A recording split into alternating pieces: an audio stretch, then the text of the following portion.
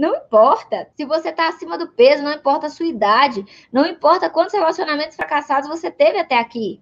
Isso não é importante. Importa como você vai passar a se tratar internamente a partir de agora. Quais as co coisas que você escolhe pensar sobre você? Quais as coisas que você escolhe pensar sobre relacionamento? Escolhas que você faz sobre o que você vai dizer sobre relacionamentos?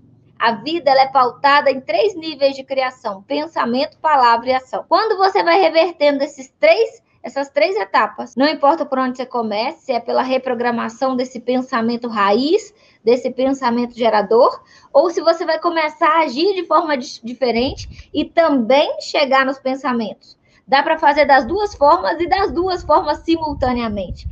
E isso vai gerar resultados extraordinários na sua vida, mas você tem que decidir. Se você está aceitando uma relação em que o cara não quer estar com você, que ele nitidamente deixa claro que o seu perfil de pessoa não é o perfil de pessoa que ele busca. Ele não fica feliz de fazer com você as coisas que você gostaria de fazer com alguém, então não é ele, querida. Não insista.